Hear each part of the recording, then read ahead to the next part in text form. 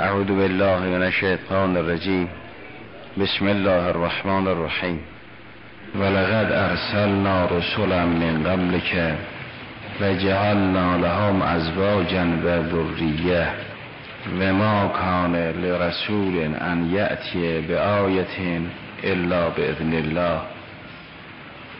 لکل عجل کتاب چون این سوره مبارکه رد در مکه نازل شد و معمولا سوره هایی در مکه نازل می شد راجع به اصول دین بود یعنی توحید نبوت و معاد.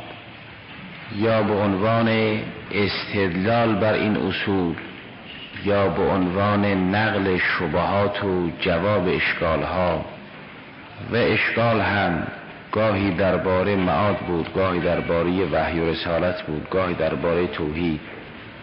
و این سوره بسیار از شبهات ناظر به اصول سگانه را بیان کرد و جواب فرمود یکی از اون بحث های این سوره که راجع به مسئله نبوت است این آیه است که ولقد ارسل ارسلنا رسلا من قبل که و جعلنا لهم ازواجا و ذریه.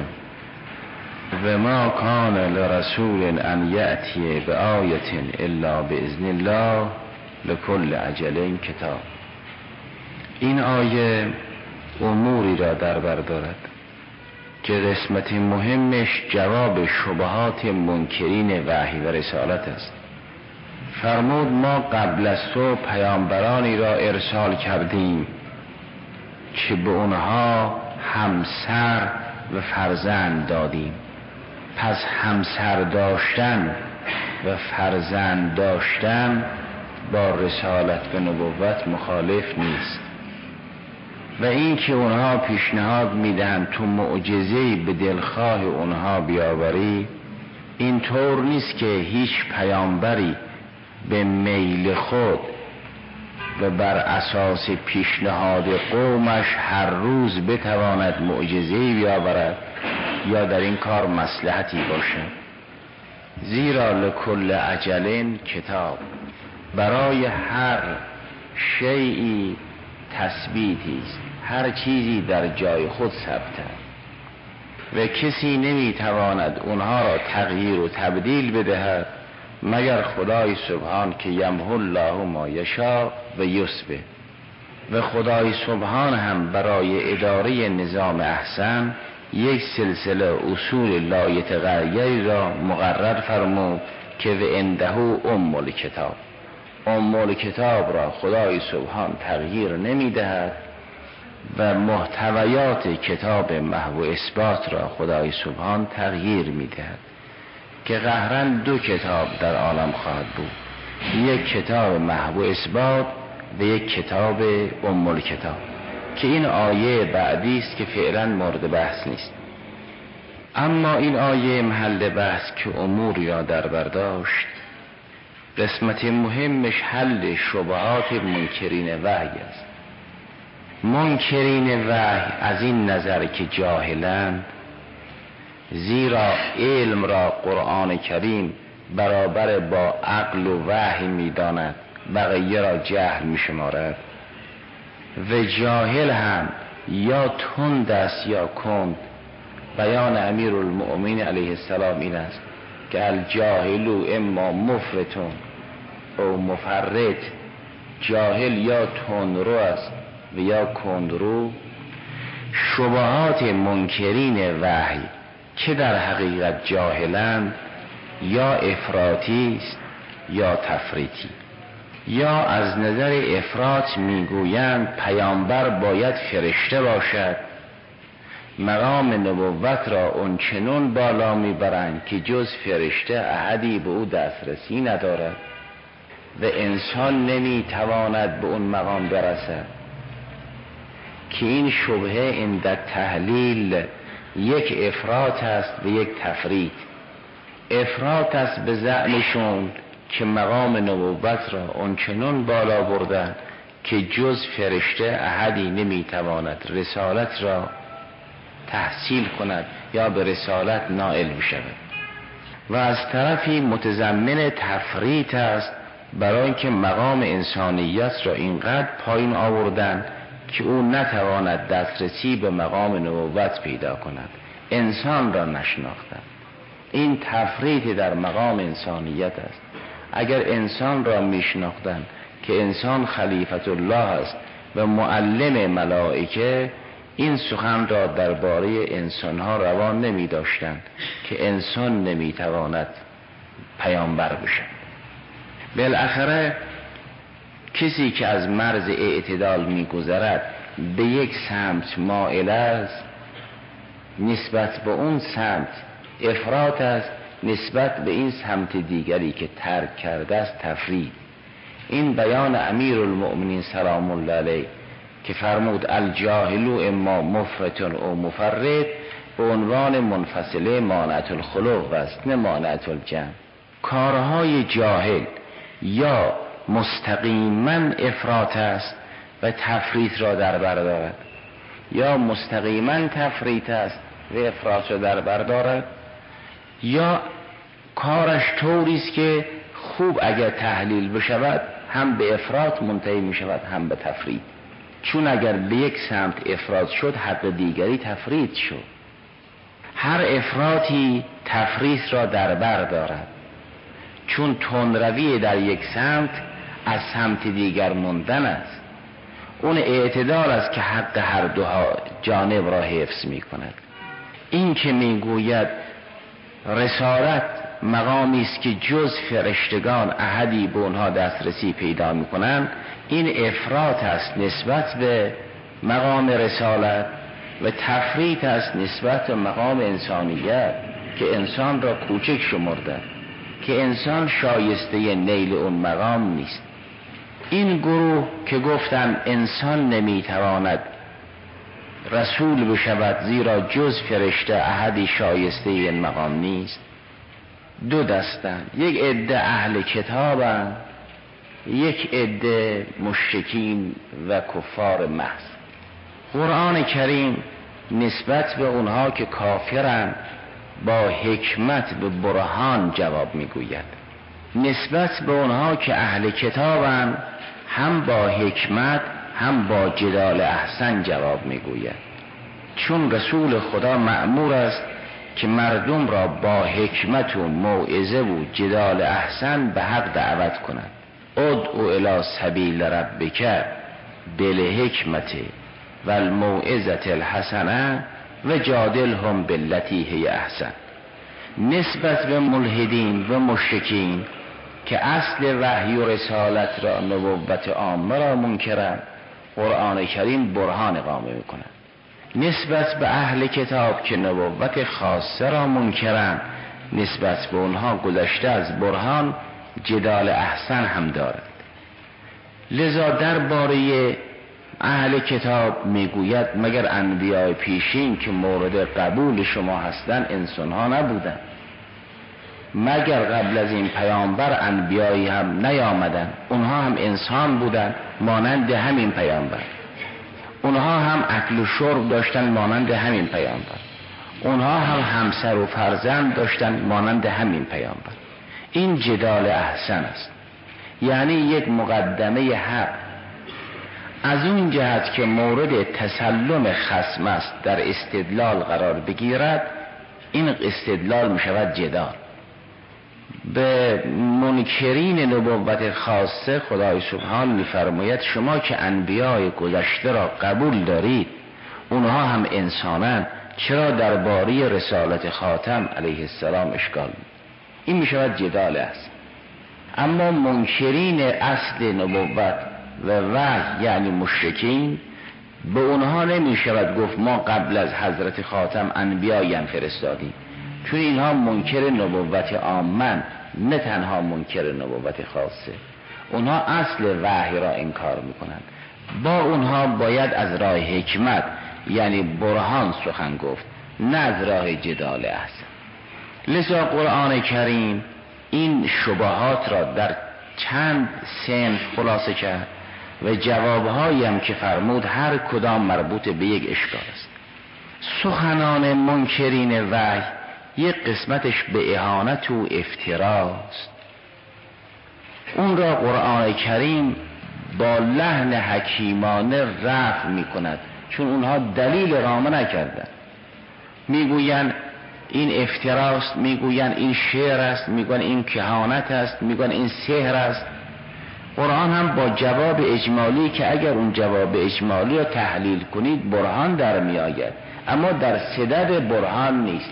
زیرا اونها در صدد استدلال نبودن اونها خواستن اهانت کن. خواستن توهین کن. اما اون قسمت از سخنان و مشکین و اهل کتاب که به صورت استدلال هست قرآن کریم هر یک اونها رو علاهده نقل می‌کند و جواب میده. یک عده شبهشون آن است که نبوت مقامی نیست که انسان به او دسترسی پیدا باید فرشته باشه. یک. یا اگر خود پیامبر فرشته نبود فرشته ای بیاید و او را تأیید کند تا ما ببینیم و بپذیریم. دو. ادهی می‌گویند بر فرض اگر پیامبر انسان باشد انسان بتواند به نبوت برسد باید یه انسان زاهد راهب منزوی از دنیای بیزن و فرزند نبی باشد. نبوت با زن و بچه داشتن سازگار نیست.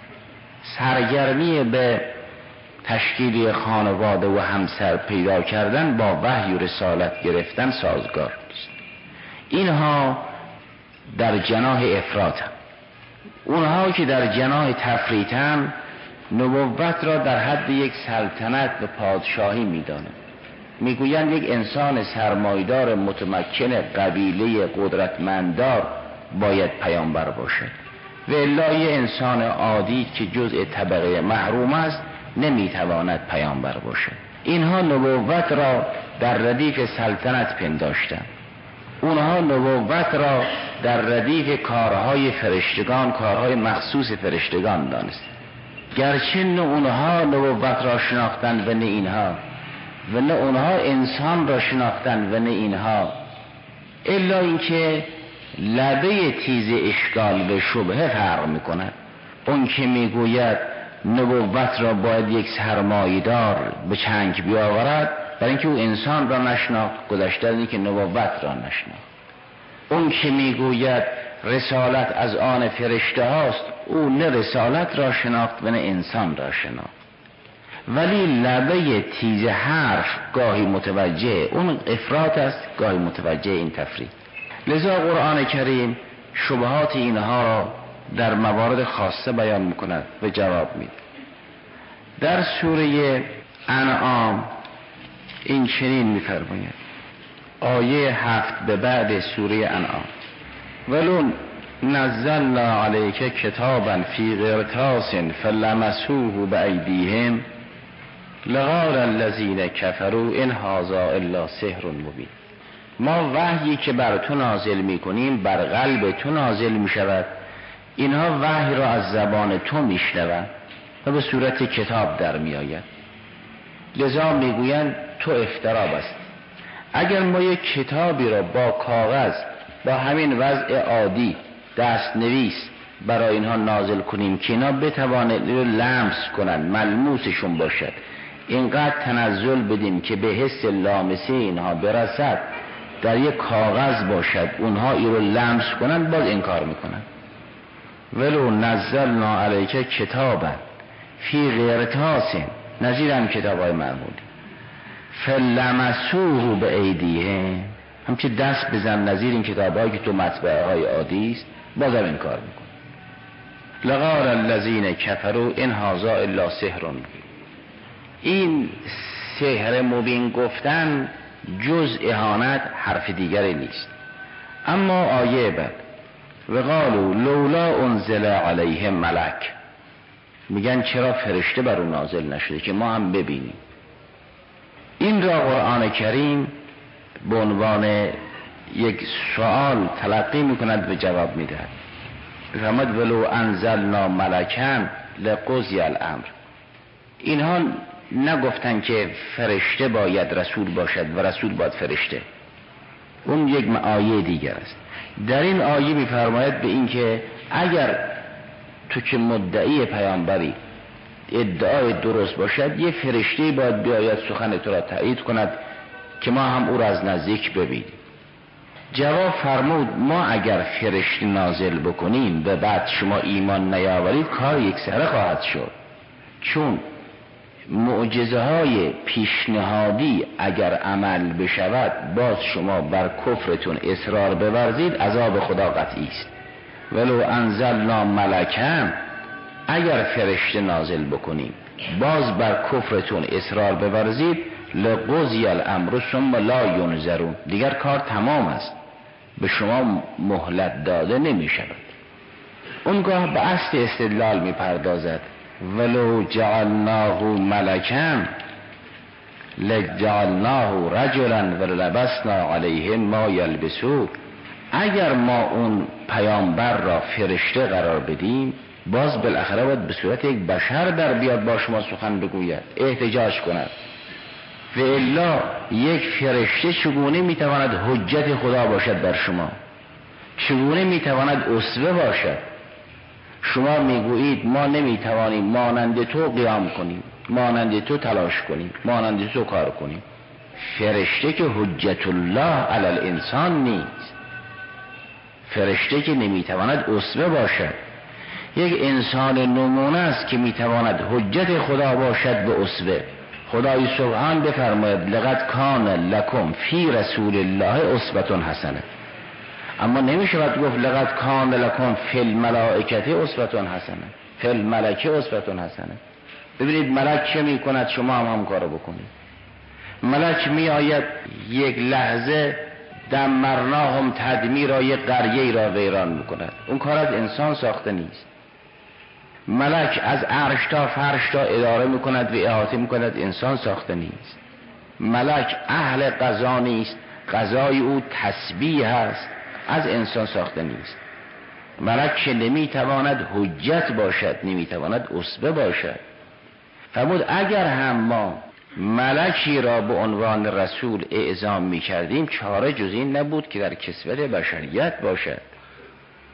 باز همون حرف می زدیم اینجاست که مرحوم آقای آسد نورالدین رضوان لاله در تفسیر شریف القرآن و العقل همون جلد اول تفسیر زیل این آیه سوره انعام میفرماد اینا حضرت رسول رو نشناختن. اگه میشناختن نمی‌گفتن چرا فرشته نمی آید این فرشته است که مجسد شد. باطن حضرت فرشته است. وقتی این معلم ملائکه است از همه ملائکه بالاتر و افضل است پس ملکی است که به صورت انسان در آمده اینا باطن وحی و رسالت را نشناختن. باطن مقام شامخ انسان و کامل مانند رسول خدا. صلی الله علیه و آله و سلم را نشناختن. اگر باطن حضرت را می‌دیدن میفهمیدن این باطنش فرشته است که به این صورت ظهور کرده. این را ایشون در همین زیل آیه سوره انعام داره.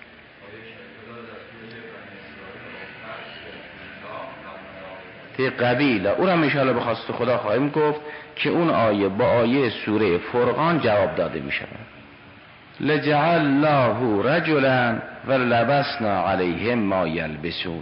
بنابراین این چنین نیست که خدای سبحان یک ملکی را ارسال کند به حجت تمام بشود. بعد به مردم بفرماید شما به این فرشته تأثیر کنید اونگاه پشت سرش میفرماد اینا نمی‌خوان حجت اقامه کنن. اینا فقط می‌خوان استهزا کنن.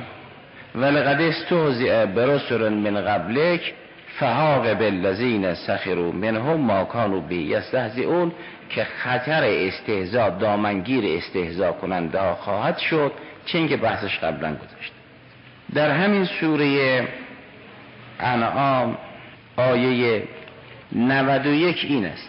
و ما قدر الله حق قدره از قالوا ما انزل الله علی بشر من شیء اینها خدا را درست نشناختن کسی که نبوت و وحی را منکر است خدا را نشناخت.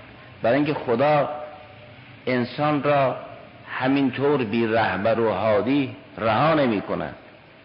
اگر خداست برای انسان یه قانونی وضع می کند. اگر کسی خدا را شناخته باشد نمی‌گوید خدا انسانها را همینطور بدون راهنما و رسول رها کرد. اینها که می‌گویند؟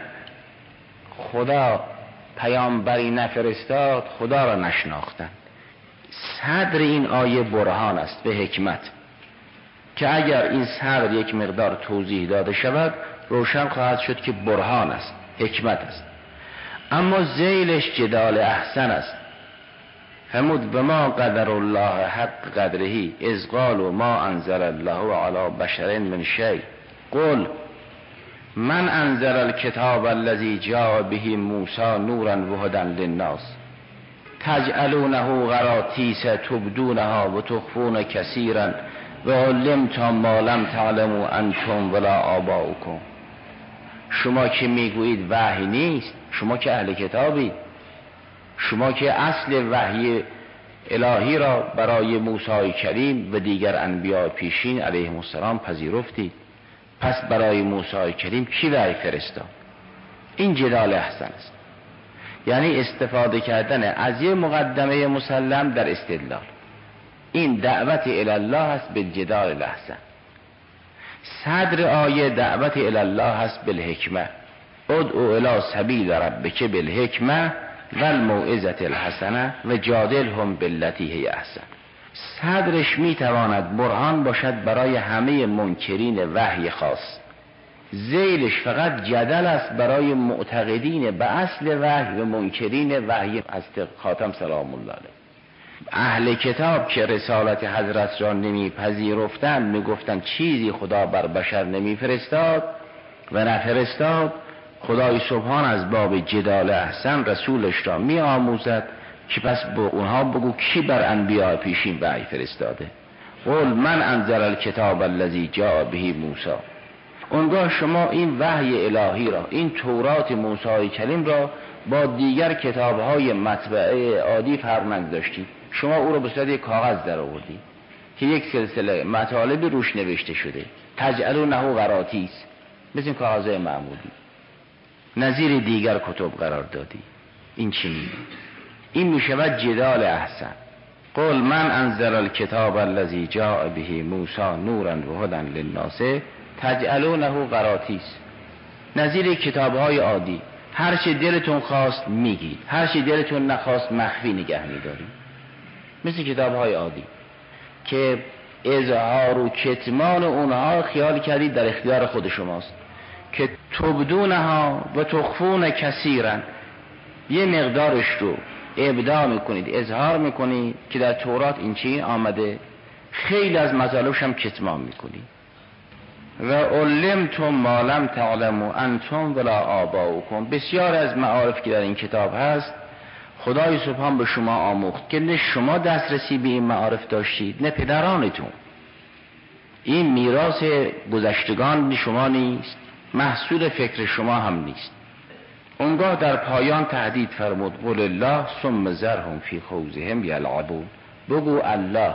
اینها را در خوز و فرو رفتگیشون در باطل رها کن بگذار اینها بازی کنن تا ببینن پایان کار چه خواهد شد. اینا که اهل لحو و لعبن به تعبیر لطیف صاحب تفسیر لطائف اشارات به نام قشیری اینا گرفتار لعابن. لعب را که قرآن کریم دنیا را لعب می‌داند میفرمادی عده سرگرم لعبن زرهم فی خوزهم یلعبون یا اینهم فی شکهم یلعبون و مانند آن لعب را ایشون تحلیل کردن که اصلش از لعابه کسی با لعاب دهن اگر تشنه باشد سیراب نمی شود. این تا می رود لعاب دهنش رو جمع بکند در همون فضای لب خوش می شود. کسی با لعاب دهن سیر نشده تا حالا تشنه را نمیشه با لعاب دهن سیر کرد. فرمود این دنیا با همه مقاماتش جز لعاب دهن بیش نیست. تا میرن این رو بگردونن می‌بینن که یا معذول شدن یا منعذر شدن یا از بین رفت. هیچ مقامی از مقامات دنیا آدم رو سیر نمی کند بنابراین مقام وقتی ارزش داره که در اختیار آدم باشد نه آدم در اختیار او. متا همینطور است مال همینطور است علم همینطور است. علم جز اون نوری که یغذف الله فی قلب من یشا اونم همینطور است. هر چه غیر خداست خلاص لعابه. منتها حالا فرق می‌کنه. فرمود اینها را قول الله به قرینه تقابل نشون می‌داد. هرچه الله نیست لعاب دیگه. اونها گرفتار زرق و برقن ما ها مبتلا به سلسله مسائل دیگه هستیم. هرچه غیر خدا شد میشه لعاب. ولله ثم زرهم فی خوزهم یلعبون این درباره منکرین نبوت خاصه. بنابراین گاهی قرآن کریم برهان قامه می کند گاهی به عنوان جدال احسن جواب میده اونها که گفتن رسول نمی‌تواند بشر باشد حرفشون در قرآن کریم زیاد نقل شده. گاهی خطاب می‌کنند گاهی اصل حرفشون را قرآن نقل بکند. که اینها می‌گویند بشر نمی‌تواند بر ما حکومت کند بشر نمی‌تواند پیامبر باشد. یا صریحا به انبیاشون می‌گفتن این انتم الا بشر. یا فرائنه مصر درباریان فرعون می‌گفتن به اینکه ان نؤمنو لبشرین و قومهما لنا عابدون. ما به دو بشر کی که موسی و یکی هارون علیهم السلام است ایمان بیاریم. در حالی که قومشون بردگان مایند اینا می‌گفتن بشر نمی‌تواند پیامبر باشد. این شبه در قرآن کریم فراوان است. در سوره مؤمنون آیه 23 به بعد این است. درباره نوح و امثال فقال الملع الذين كفروا من قومه ما هذا الا بشر مثلكم يريد ان يتفضل عليكم ولو شاء الله لانزل ملائکه ما سمعنا به هذا فی آبائنا الاولین این بشری است مثل شما می‌خواد بر شما حکومت کنه چه امتیاز بین او و شماست؟ اگر نبوت حق بود نبی فرشته بود. چون فرشته نیست پس نبوتی در کار نیست. این قیاس استثنایی است. بعد از این قیاس استثنایی نتیجه گرفتن اونگاه این نتیجه را به صورت اهانت به افترا کردن. اصل قیاس استثنایی اینه که لو کانت الرسالت حقا لکان الرسول ملکن من الملائکه. لکن الرسول لیسه به ملک فالنبوتو باطله. یا لو کان هازا رسولا لکان ملکا. لکنه لیسه به ملک فلیسه به رسول. اگر این پیغمبر بود فرشته بود. چون فرشته نیست پس پیغمبر نیست. رو تلازمی که بین نبوت و ملک بودن قائل بودن بر اثر افراطی در این مقام. یا تفرید نسبت به انسانیت که انسان را نشناخته بودن گفتند ولو شاء الله لانزل ملائکه. ما سبعنا به هذا فی آبائنا الاولین. ما از نیاکانمون چیزی نشیدیم که یک انسان به صورت پیامبر باشه. اونگاه گفتن این هوه الا رجل بهی جنه فتربسو بهی حتاهین و امثال ذالک این درباره نوح بود. درباره دیگر انبیا هم همین حرف داشتن. در همین سوره مؤمنون آیه چهل و هفتم درباره موسی و هارون علیهم السلام این چنین گفته شد. فقالو یعنی فرائنه و درباریان فرعون ان نؤمنو لبشرین مثلنا و قومهما لنا آبدون قبیله اینها بردگان ماین اینها بشرن مثل ما. در سوره اسراء چند شبهه از شبهات منکرین وحی ذکر شده. از آیه 90 به بعد. بعد از اینکه عظمت وحی را و عظمت قرآن را تبیین فرمود که اگر انس و جن جمع بشوند و بخواهند مانند دین قرآن بیاورند مقدورشون نیست؟ اونگاه فرمود حرف اونها این است و قالو لن نؤمن لکه حتی تفجر لنا من الارض ینبوع این پیشنهاد که باید چشمه های جوشان از زمین به جوشانی که نظیر این شبه در بحث های قبلی گذشت. که قطعت به الارض امثال ذالک در زیل اون آیه این بحث گذشت او تکون لکه جنتون من نخیر و عنب فتفجر الانهار خلالها تفجیرا. یا یه سرمایدار قوی باشی باغدار ممتاز باشی که از لابلای درختها بتوانی نهر به جریان در بیاری چشمه به جوشانی به مانند این طرز تفکر را فرائن مصر هم داشتن. استدلال فرعون برای حقانیت خودش این بود که علی سلی ملک و مصر و حاضل انهار تجدی من تحتی. این به صورت یک قیاس دیگه. یعنی ملک مصر نه تنها ملک مصر ملک و سلطنت مصر از آن من است و این انهارم از تحت قصر من جاری است و هر کس این چنین است مطاع است پس من مطاعم. این استدلال. چون ملک مصر مال من است من ملکم و این انهار از زیر قصر من جاری است و هر کس این چنین باشد هر سرمایدار و مالک و مقتدری که قدرت مالی و نفوذش در منطقه فراون باشد باید مطاع باشد پس من مطاعم این استدلال فرعون بود. علیس لی ملک و مصر و حاضر انها رو تجدیم این تحتی مشابه اون را در سوره اسراء از همین گروه منکر وحی نقل می کند او تکول لکه جنتون من نخیل و انب از خرما و انگور فتفجر الانهار خلالها تفجیر. یا آیات عذابی که ما را به اونها میترسانی نازل کنی. او تسقط از سماع کما زعمت علینا کسفن این سائقه های آسمانی تکه تکه بیاد پایین به حیات ما خاتمه بدهد. او تعطیه بالله و الملائکت قبیلا یا خدایی که ما را به الله می‌خوانی. و فرشتگانی که می‌گویی مدبرات امرن و رابطه فیزن اونها را بیاری ما ببینیم این همون اصالت حس است. این همون فکر انحصار موجود در ماده است که کل موجود مادی. چون کل مادی موجود خیال کردن کل موجود مادی. و اگر چیزی مادی نبود موجود نیست. و اگر چیزی قابل احساس نبود موجود نیست. گفتن اگر خدا هست ما باید ببینیم. اگر ملائکه هست ما باید ببینیم. اینم به صورت یک قیاس استثنایی. که لو کان الله موجودن و لو کانت الملائکه موجودن لرعیناها زیرا کل موجود ملموس کل موجود مرئی. یا لاحسسناها چون کل موجود محسوس.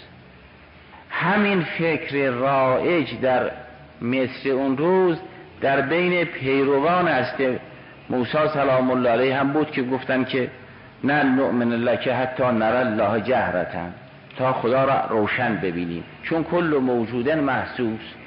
همین حرفی که مارکسیستان می‌گفتن همین حرفی که رهبران کمونیستی در شوروی می‌گفتن که اگر خدا بود ما هم می‌دید. این حرف سریح خروشف ملعون بود که می‌گفت اگر خدای بود ما هم می‌دیدیم. این سریح گفته بود. الان هم می‌گویم که اگر موجود بود ما هم می‌دیدیم. خیال کردن کل موجود محسوس او تعطیه بالله و الملائکت قبیلا.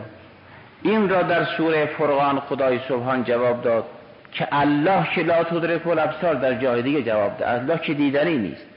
نه با چشم طبیعت نه با چشم عالم مثال.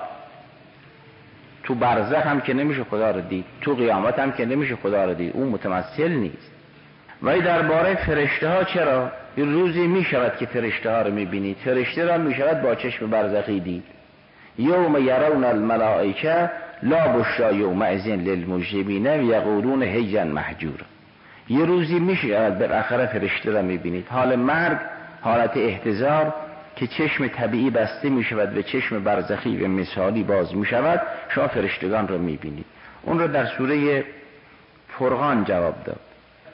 آیه 21 و 22 سوره فرقان این است که وقال الذين لا يرجون لقاءنا لولا انزل علينا الملائکه او نرا ربنا. یا فرشتگان یا الله یکی بالاخره نازل بشن ما ببینیم. فرماد لقد استشبروا فی انفسهم و اتوا عتوا کبیرا. اینو چی میگن؟ مگه خدا دیدنی است ملائکه را می‌شود دید اما نه با چشم طبیعت یوم یرون الملائکه یه روزی می‌شود ملائکه را ببینن. اما لا بشرا یوم ازین للمجرمین و یقولون هجرا محجورا. یعنی منعا ممنوعا. تهجیر کردن یعنی منع کردن. یعنی نگذار انسان بیرون به درون راه پیدا کند. اینا در اون روز احتضار که فرشتگان را می‌بینن میگن هجرا محجورا یعنی منعا ممنوعا. شما یه طرف ما یه طرف. تهجیر کنید خلاصه. محجور یعنی ممنوع. بنابراین فرشتگان با چشمای برزخی دیده می‌شوند به ذات اقدس اله اصلا قابل رؤیت نیست. اون چه که در سوره اسراء ذکر شده است مجموعه چند تا شبه است اون وقت گفتن او یکون لکه بیتون من زخرف. معلوم می شود گویندگان این اشکالات شبهات یک نفر یا یک گروه خاص نبود. گروه های گوناگون بودن که هر کدام یه شبهه دیگه داشت. یا نه چون اهل افراد و هر روز یه حرف زدن. گاه اون اشکال گاه تفرید گاه افراد گاه گفتن چرا شما خانه از طلا نداری؟ خانه تلاسهاز نداری؟ بیت من زخرف نداری؟ همونطوری که سلاطین دارد. او ترقاف سما یا بری آسمان و رفتنت هم کافی نیست. ولن نؤمنه لروغیه که حتی تنزل علینا کتابا نقرعا یه کتاب بیاره که ما ببینیم. این همان است که در سوره انعام جواب داده شد که اگر ما کتاب بیاریم تو کاغذ باشه اینو لمس هم بکنن باز میگن سهر است. قل سبحان ربی هل کنتو الا بشرا رسول. مگر تغییر نظام دست من است؟ من بشرم و رسولم و به ازن الله هر کاری که خدای سبحان دستور بدهد انجام میدم اما درباره شبهات قل لوکان فی الارض ملائکتون یمشون مطمئنین. لنزلنا علیهم من السماء ملکا رسولا. رسول باید از جنس مرسل اله باشد تا حجت بر اونها باشد و اسوه اونها باشد. اگر در زمین یه سلسله فرشتگان زندگی می‌کردن ما هم برای هدایت اونها فرشته نازل می‌کردیم.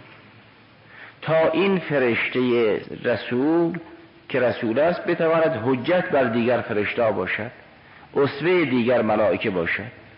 ولی یک فرشته چگونه اسوه بشر می شود و بشر بگویم شما به فرشته تأثیر کنید پرهیز از حرام بکنید پرهیز از نامحرم بکنید. نترسید در میدان های جنگ و مانند اون برای اینکه این رسول شما نمیترسد؟ این که قابل هدایت نیست قابل اصف بودن و قابل حجت بودن نیست.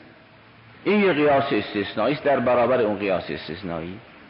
که اگر در زمین فرشتگان زندگی می‌کردن.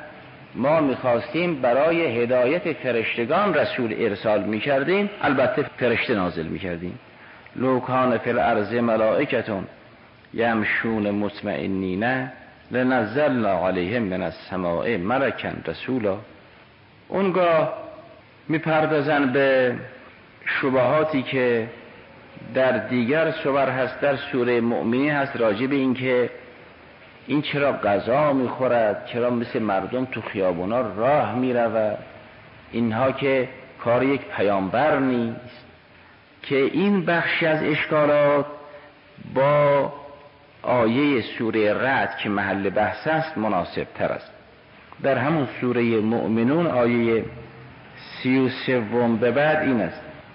و قال الملع من قومه الذین کفروا و کذبوا بلقاء الاخره اینا که مبدع و معاد را نمیپذیرند. توحید و معاد را نمیپذیرند. و اطرفناهم فی الحیات دنیا یه عده مترفین و مصرفین و متنعمین و سرمایداران برخوردار از مواهب الهیان می‌گوین ما هازا الا بشر مثلکم. او هم یه بشری است مثل شما. یعکلو مما تأکلون و یشربو مما تشتبو او هم آب می نوشد او هم غذا می خورد او چه حکومت و فضیلتی بر شما داره ولئن اطعتم بشرا مثلکم انکم اذن لخاسرون. اگر او را به عنوان رهبری پذیرفتید چون مثل شماست باختید خسارت دیدید. زیرا مثل خود را بر خود حاکم کردید. و اون وعده هایم که می‌دهد یا تهدیدهایم که می‌کند معاذ الله افسانه است. ایعدکم انکم اذا متم و کنتم ترابا و ازامن انکم مخرجون او شما رو وعد و وعید می‌دهد به بهشت و جهنم در قیامت. هیهات هیهات. این حرفا چی؟ هیهات هیهات لما تو ادون قیامتی نیست. این هی الله حیاتون دنیا نموت و نهیا جز دنیا چیزی نیست. یه ده میمیرن یه ده زنده میشون همین. انسان از گهواره تا گور خلاصه می‌شود ولا غیر. قبلش هم چیزی نبود بعدش هم چیزی نیست. همین است.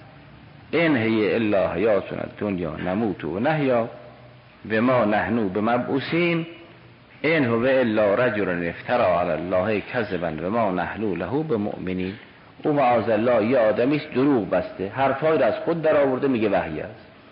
اعتقاد به الله برای مشرکین حجاز و امثال اونها کار سهلی بود کما مر مرارن. اعتقاد به اینکه جهان خالقی دارد.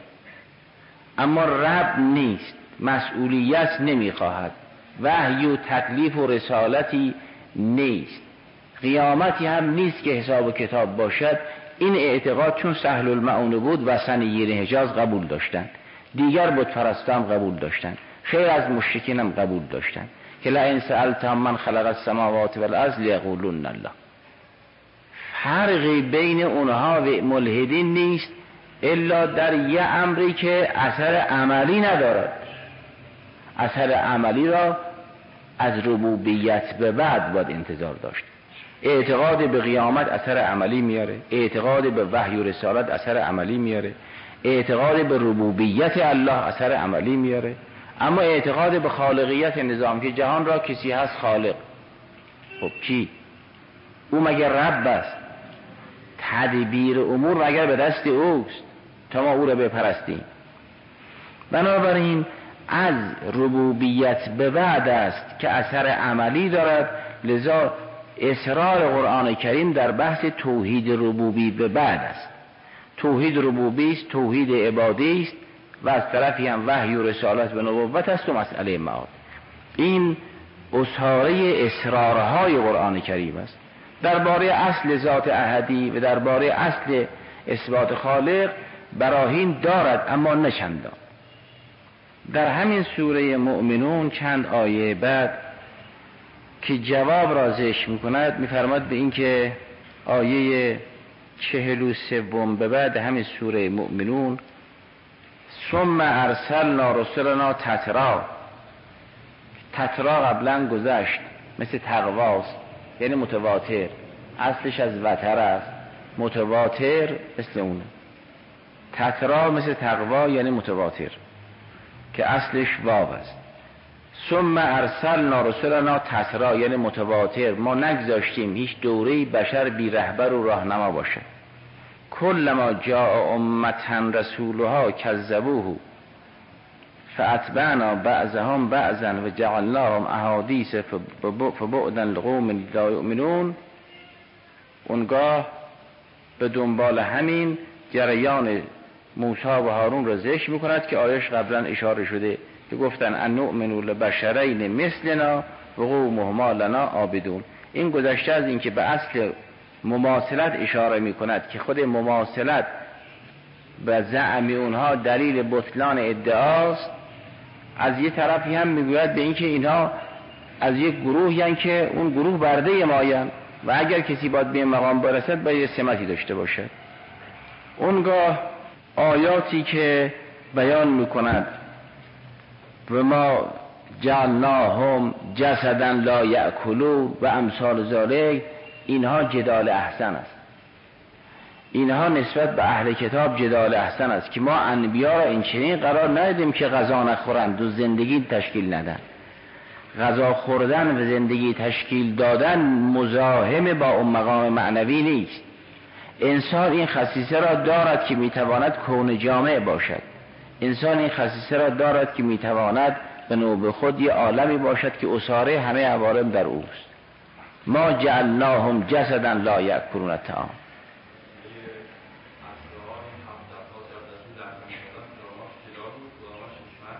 در اونجا اونها که مشرکن نسبت به اونها حکمت است. لوکان فی الارض ملائکتون یمشون مطمئنین نزل علیهم من و این نسبت به اهل کتاب هم می‌تواند حکمت باشه.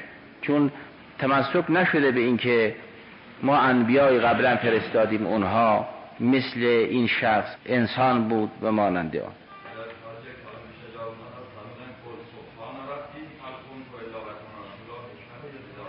این درباره پیشنهادهایی که دادن این حکمت است. پیشنهاد دادن که یا باید زمین را بشکافی او تفجر الانهار خلالها تفجیرا. این نظیر اون آیه است. نظیر همون بحثی که در همین آیه سوره رد دارد که ما کان لرسول ان یاتی بایت الا باذن الله. بنابراین اون چه که در آیه محل بحث یعنی سوره رد آمده که فرمود ولقد ارسلنا رسلا من قبل که و جعلنا لهم ازواجا و ذریتا ناظر به آن است که اولا انسان می‌تواند به رسالت برسد. رسالت مخصوص فرشتگان نیست. اونا یه رسالت دیگر دارن. و ثانیا زن و فرزند داشتن مزاحم با این مقام نیست به مانند آن بعضی از مفسرین فرمودن به این که و جعلنا لهم ازواجا و ذریه ناظر به جواب مشرکی یا ناظر به جواب یهودیاست که اینها دور هم جمع می‌شدن مردم را فریب می‌دادن که اگر او واقعا پیامبر است چرا به چند ایال سرگرم کرده خود را؟ کسی که مشغول اداره پنج شیش زندگی یا هشت نه تاست این دیگه نمی‌تواند رسول باشد. این بیان در بعضی از تفاسیر اهل سنت هست در بعضی از تفاسیر خاصه هست و امثال ذالک ظاهرا این بیان و این تفسیر تام نباشه برای اینکه این سوره مبارکه در مکه نازل شد. و در مکه حضرت با هست خدیه سلام الله علیها ازدواج کرده بود ولا غیر. اون هم حضرت 25 ساله بود و اون بانو محترمه. 40 ساله. با فاصله 15 سال این روته کردن تا اینکه اون زن پیر شد تقریبا. حضرت با او به سر بود در مدینه برای اسرار و مصالح و حکم تجدید فراش کرد به عنایت الهی. پس اون وقت که جوان بود که با یک تقریبا پیرزن که فاصله سنیش 25 ساله بود به سر بود این آیم در مکه نازل شد.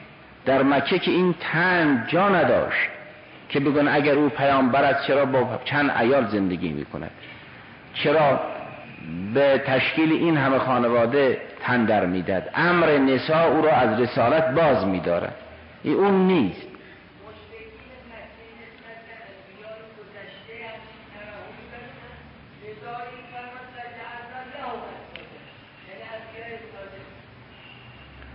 نه آخر مشرکین که قبول نداشتن انبیاء سابق را که.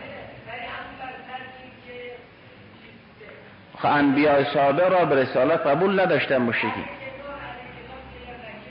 بله نه منظور اینه که اهل کتاب که در مکه بودن گرفتاری حضرت نوعا با مشرکین بود. در مکه اهل کتاب کم بودن و اگرم بودن در برابر وحی این چی ایستادگی نداشتن. مدینه بود که اینا بلوا داشتن. در مکه اینا چند اشکال می‌کردن؟ یا می‌گفتن چرا سرمایدار نیستی؟ یا می‌گفتن چرا فرشته نیستی؟ این آیه را نمی‌شود گفت به اینکه شبهه یهودی هاست. یهودی ها و اهل کتاب مسیحا اینا گفته باشن که اگر او پیامبر بود اینقدر سرگرم تشکیل خانواده نمی‌شد. این شبهه در مدینه مطرح شد که جواب داده. اما این آیه سوره رد چون در سوره رد است و ظاهرا مثل سایر آیات این سوره در مکه نازل شده است در مکه جای این شبهه نبود تا بگویند که شغله امر النساء عن النبوه این شبهه فقط در مدینه بود. اون در مکه بود اصل ازدواج حضرت به فرزند داشتن بود که او رو قرآن کریم رد کرده؟ و الحمد لله رب العالمین.